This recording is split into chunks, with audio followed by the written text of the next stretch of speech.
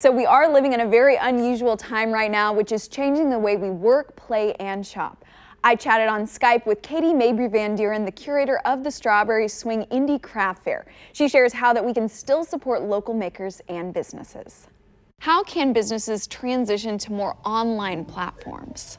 Hi. Okay, so this has been a pretty big hit for all of our small businesses because you know what they do for their living is create stuff and then sell it most of the time in person, mm-hmm. but also online. So what I've tried to do is make a online database. Um, I'm still working on it. I have it. It's called um, on my website, thestrawberryswing.com, there's a makers marketplace online. Mm-hmm. And so I'm trying to get them up on that because normally they come to my craft fair and sell in person. So now we're trying to get them all organized by what they make, like jewelry because you still have to you have to take care of people still. You might need to right. send your mom or your sister a gift for her birthday because finding things in the mail is going to be how we kind of like feel connected again, you know? Is there anything that we can do as an individual besides going ahead and buying things? For instance, I've seen a lot of right. Instagram, Facebook posts about, hey, these are ways that you can help people stay informed. Yeah, for sure. Going online mm-hmm. and sharing, if you don't have money or if you don't need to spend any money, as long as you can share these small businesses to raise awareness for them, maybe you share it and then your sister, she says, Oh, I would love to buy a bracelet for someone, or I need stationery to send cards to my friends.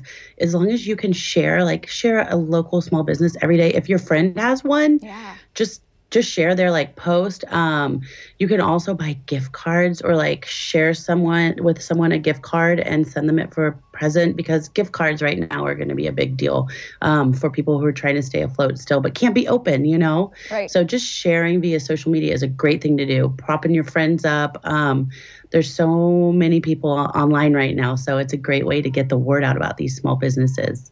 Okay, and right now I feel like almost all of my conversations are around coronavirus or recent health concerns. Right. So some people may not be like, okay, we know that local businesses do need support, but that may not be at the forefront of their mind. Can you please touch on how important it is for some of the local makers that you know that people do continue to support them? Yeah, for sure. This is literally with me. I see, I have four festivals a year, and some of them are making their entire salary at just my festivals. So, wow. um, having not being able to do these events in person is, I mean, a really big deal. And then the retail shops, a lot of them are selling, let's say, made in KC, right? You know that mm-hmm. store. Yeah. Um, a lot of people are also making their rent just from selling in that store, which had to close. So this is super important. These are their businesses, and they're this is what they do for a living, how they raise their children, or how they pay their rent. Well, and taking a note from Katie there, I will be sharing several different home decor stores that are local to Kansas City and also sharing some sales that they have going on.